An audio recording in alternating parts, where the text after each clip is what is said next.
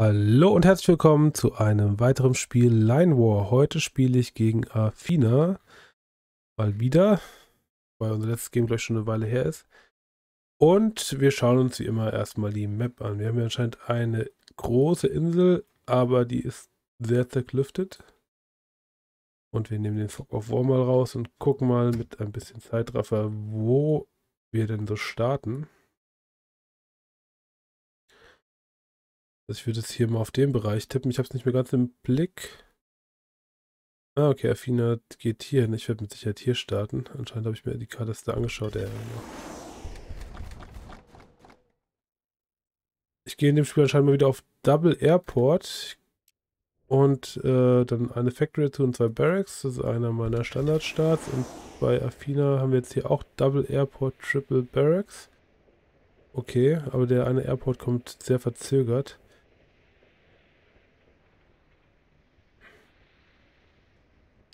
Hier wird auch irgendwie die, die, ähm, der Stealth von dem Wald nicht wirklich ausgenutzt. Hätte man eigentlich machen können, ne? Achso, nee, okay, das Gebiet hier war gar nicht im Start drin, wahrscheinlich deswegen. Naja. Okay, und jetzt hier spannend, äh, relativ schnell Kommandos gebaut und äh, auch direkt einen Landing Craft. Äh, sieht man auch nicht so häufig. Also ein relativ spannender Start am Anfang. Da muss ich jetzt natürlich aufpassen. Hier haben wir so die ersten Scharmützel. Der Infanterist wurde leider zurückgelassen. Dann hat wird doch zurückgezogen. Mal schauen, ob er es noch wegschafft. Sieht fast so aus. So, meine ersten beiden Striker sind jetzt hier unterwegs zum Scouten. Ich wusste ja, dass das äh, ja, Affine in der Richtung ist hier. Und haben ihn jetzt auch anscheinend gefunden. Ich gehe mal gerade schauen auf meine Befehle. Also die Gebäude habe ich jetzt noch nicht entdeckt anscheinend. Und, ähm, ja, kommen zurück. Aber es ist spannend auf jeden Fall hier, die ersten beiden Kommandos gehen hier oben hin. Das hatte ich zu dem Zeitpunkt überhaupt nicht auf dem Schirm. Ich konnte auch einfach gar nicht sehen. Und das ist natürlich spannend. Ich meine, hier unten kann man, kann man einfach rumlaufen. Und da macht schon Sinn, ja, hier oben zu troppen. Und ich habe jetzt beschlossen, hier mit den Striker mal da hoch zu fliegen, weil ich irgendwie dachte, vielleicht ist irgendwie da die Basis, dem war aber nicht so. Hab dann hier wieder auf den Angriffsbefehl geswitcht und schießt einfach hier meine Raketen auf die feindlichen Truppen nieder. Mein äh, Refinery ist ja gerade fertig geworden, gutes Timing an der Stelle. Und ähm, genau, ich baue jetzt hier, wenn ich, wenn ich nur eine Factory gehe, baue ich meistens direkt nur SAM-Units einfach, weil ich sicher sein möchte, dass ich genug SAMs habe, wenn halt die Striker oder was auch immer kommen. Und hier kommen jetzt auch Striker, wie wir sehen. Und auch Interceptoren. Genau, aber hier kriege ich gerade den ersten Striker schon fast down. Leider nur fast. Hier kommt der nächste Commando Drop. Da muss ich natürlich jetzt aufpassen. Den habe ich auch nicht gesehen. Und... Naja, ah okay, anscheinend ist da auch so eine gewisse Linie geben und der, der soll jetzt hier auf meine Refinery gehen. Das habe ich auch gesehen. Ich habe da aber im selben Moment auch hier den, äh, den Angriff auf seine Refinery geschickt. Und äh, habe dann beschlossen, okay, jetzt Defenden schaffst du nicht mehr, ziehst es einfach durch. Und dem wird halt keine Energie mehr. Das heißt, all seine Flieger gehen auf den Boden zurück. Meine allerdings jetzt auch. ja.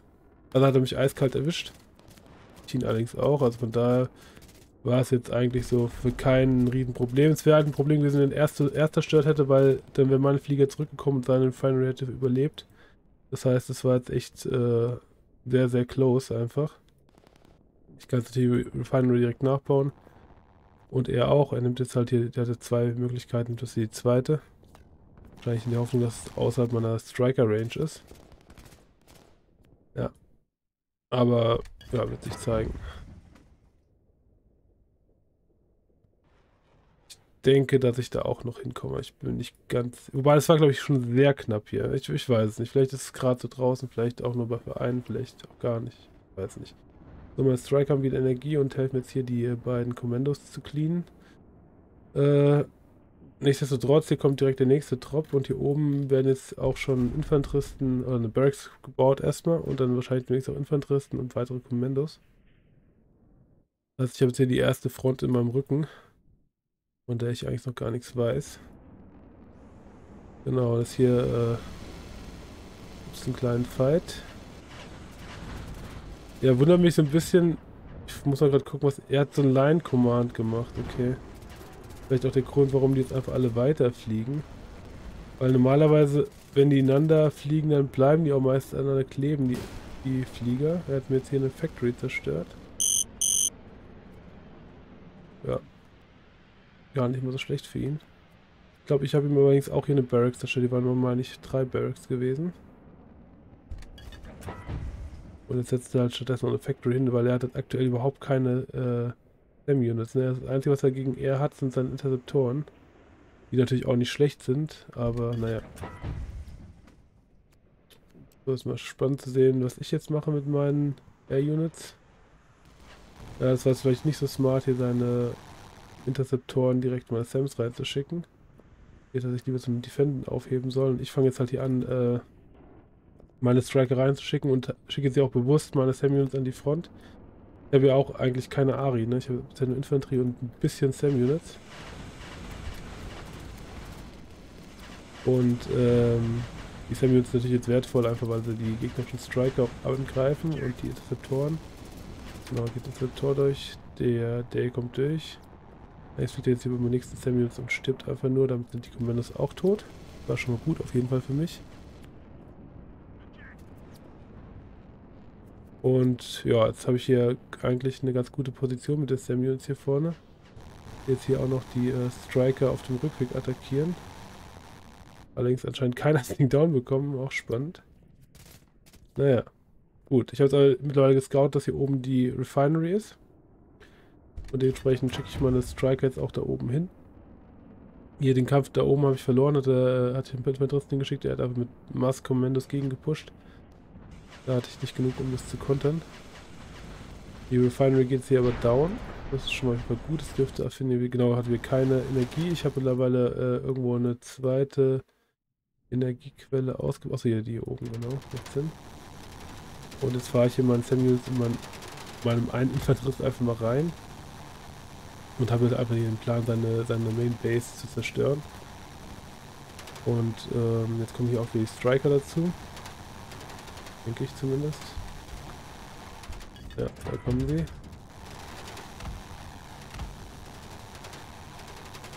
Genau, und so langsam geht der Airport down, ist er schon down.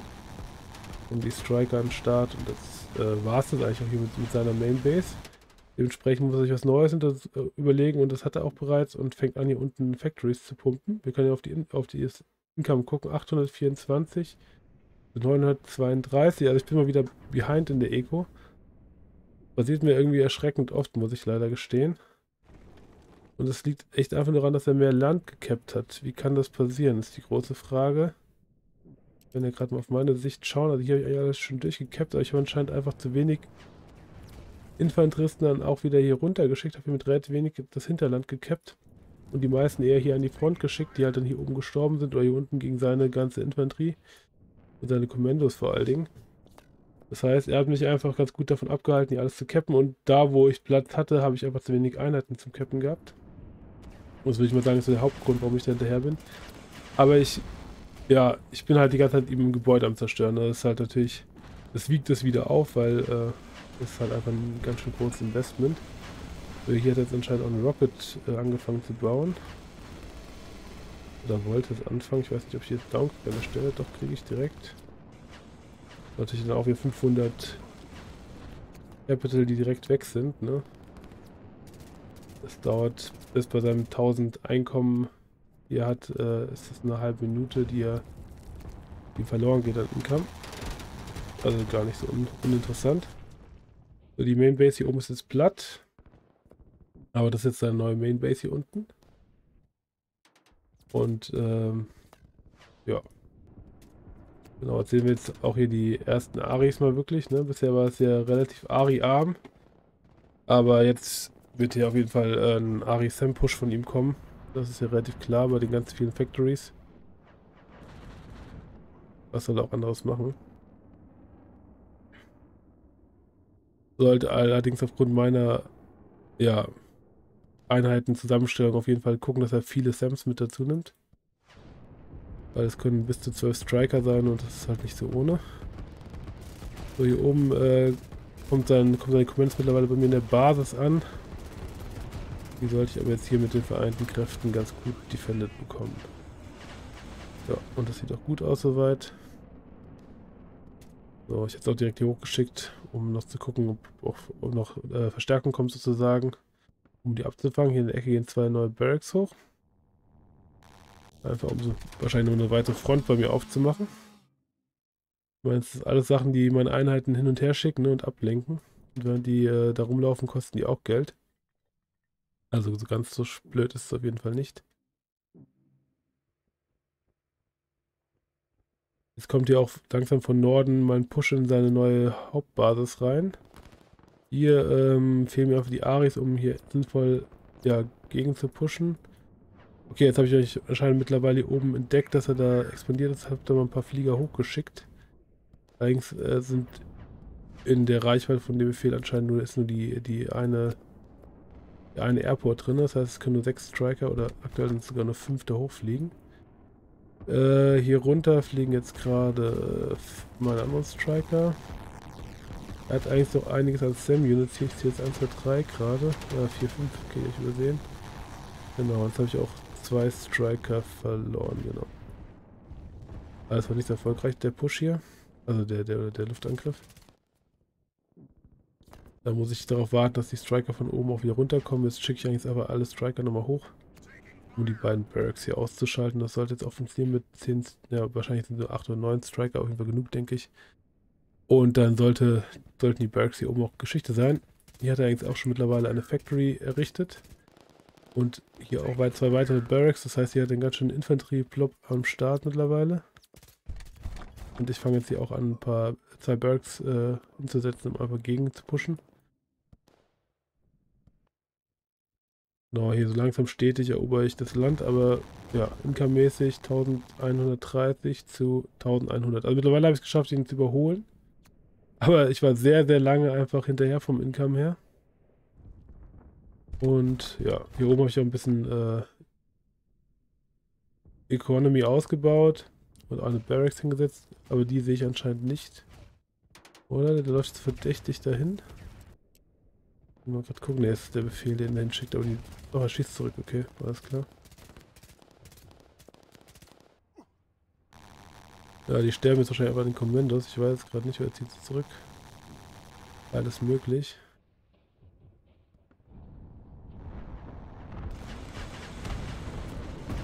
Genau, mittlerweile echt sehr viele Sams, das heißt mit meinen den 12 Striker, die ich in der Regel maximal habe, komme ich da auch nicht durch. Ähm, was habe ich mittlerweile gebaut? Ich habe ein paar mehr äh, Factories gebaut, noch ein paar Kasernen dazu, im Endeffekt ja, kommt es einfach hier ein Ari Samplop, wobei ich echt viel zu viele Sam-Units habe. Weiß gar nicht so genau warum. Ich meine, am Anfang hat er ein paar, ähm, paar äh, zwei Airfields gehabt, aber die habe ich ja schon lange zerstört. So war es an der Stelle nicht unbedingt die beste Idee, so viele Sams mitzunehmen. Nichtsdestotrotz sieht das jetzt hier ganz gut aus, denke ich. Weil bei seinen Samuels vorne stehen, ist es auch nicht irgendwie das Schlauste, wenn er weiß, dass ich jetzt hier Striker habe. Das heißt, ich kann ihn gleich da gleich reinschicken, ohne dass ich massive Luftabwehr zu erwarten habe. Nehme ich jetzt hier trotzdem mal zurück anscheinend. Schauen wir hier drüben, hier hat er so eine kleine Front errichtet. Ich fahre jetzt einfach mal rein und laufe da einfach mal rein. Ja, sieht jetzt auch nicht so mega vielversprechend aus. Gucken, wie das aussieht. Ich jetzt auch wieder zurück. Und auf der Flanke, wo es nicht vielversprechend aussieht. Okay, anscheinend auf beiden Seiten. So, hier unten ziehe ich mich weiter zurück. Und ja, worauf warte ich denn da wahrscheinlich? Darauf, dass, dass er ein bisschen näher kommt. Jetzt schicke ich die Striker rein, genau.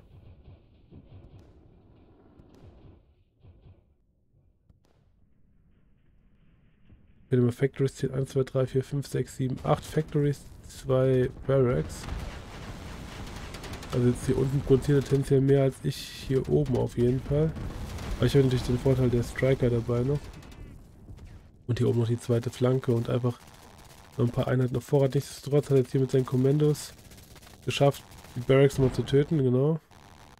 Da muss ich dann auch nochmal irgendwie drauf reagieren. Habe jetzt eigentlich auch hier oben seine Basis gefunden und gehe da jetzt rein.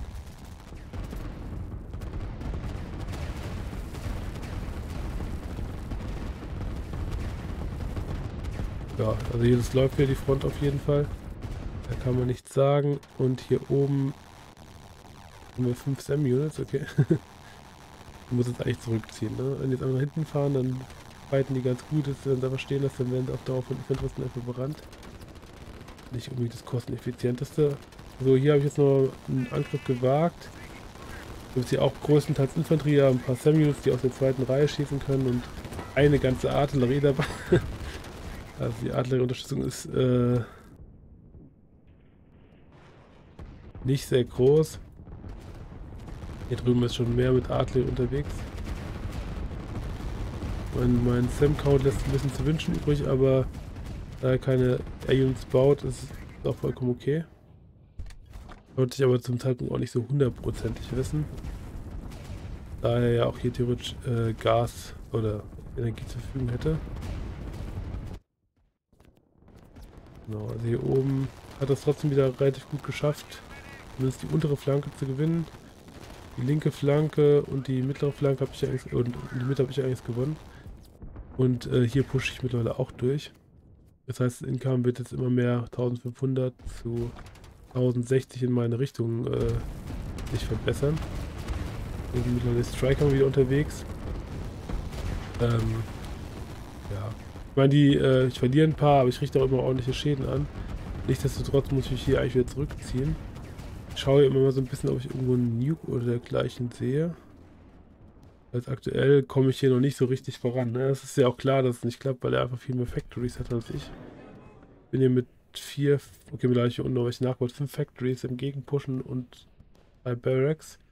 Die hier oben geht eher auf die Front, die er natürlich auch in irgendeiner Form bedienen muss. So, jetzt hat er hier angefangen mit Commands hier durchzukommen, weil ich mich hier zurückgezogen habe und er so ein bisschen gegengepusht hat.